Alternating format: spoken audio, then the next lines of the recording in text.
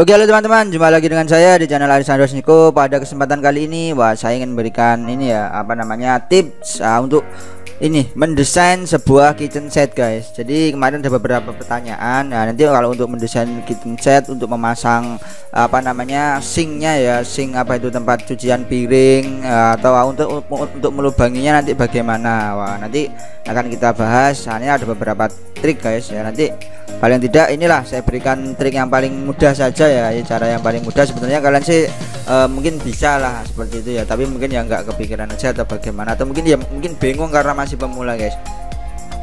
Oke baik sebelum saya bahas jangan lupa yang belum like video ini monggo silahkan di like dulu guys. Jangan lupa setelah nonton uh, nanti tinggalkan komentar.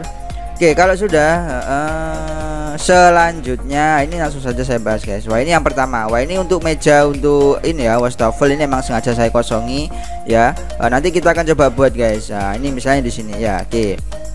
Kalau saya ingin ada uh, ini ya uh, tinggi seperti ini ya saya tambahkan aja guys katakanlah seperti ini ya. Nah, Ini saya tambahkan seperti ini ya nanti uh, apa ya uh, belakangan nanti kita coba edit seperti itu. Oke sekarang ini oh, atau ya inilah diberi ini dulu diberi material dulu ya. Diberi material dulu jas. Nah, seperti itu atau ini dikasih lebih. Ya ya nggak apa-apa ya. Saya saya pas-paskan dulu ya. Nah saya pas-paskan dulu. Ininya juga.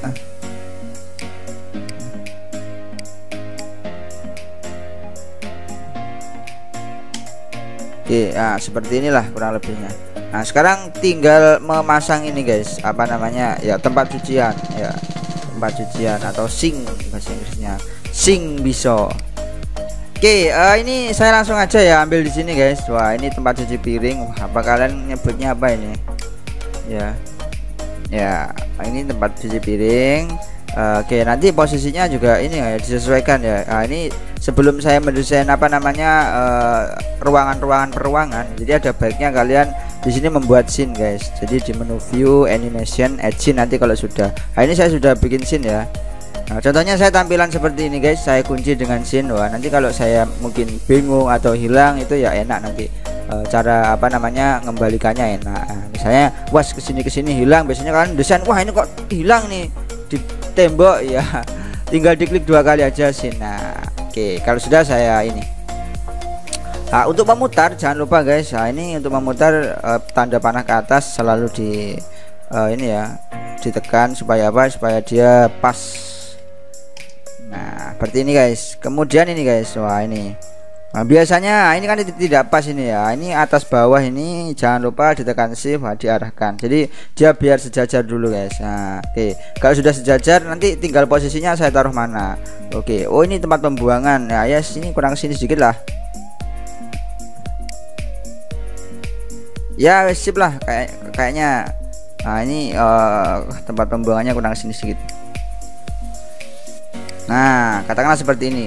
Nah, nanti untuk melubanginya bagaimana? Wah, untuk melubanginya ya gini aja guys. Nah, untuk melubanginya ya kalian nah ini kan masih di grup ini ya. Nah, ini masih di grup. Nah, untuk melubanginya diklik dua kali saja.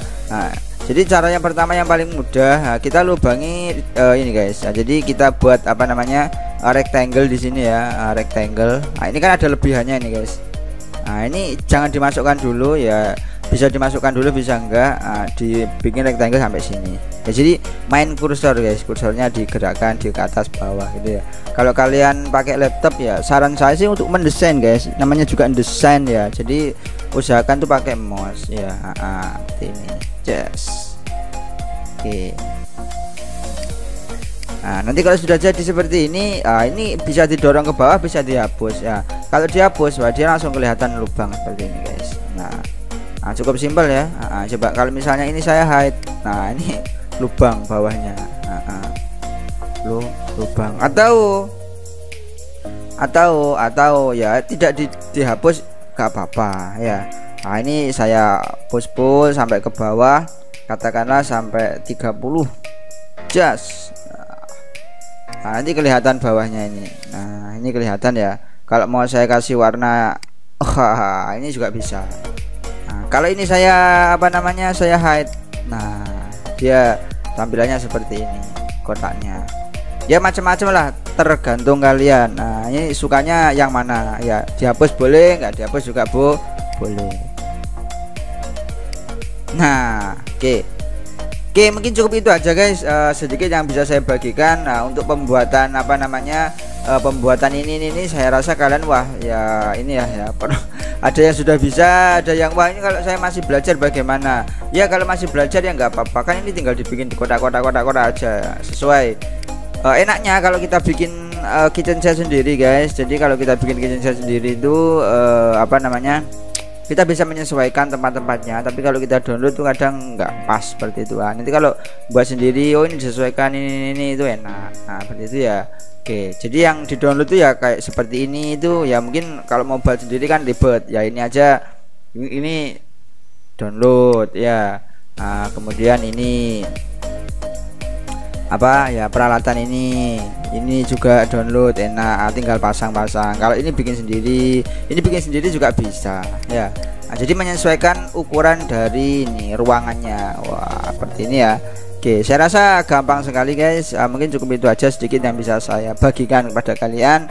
Ada kurang lebihnya saya mohon besarnya. Kata assalamualaikum warahmatullahi wabarakatuh. Selamat mencoba semoga berhasil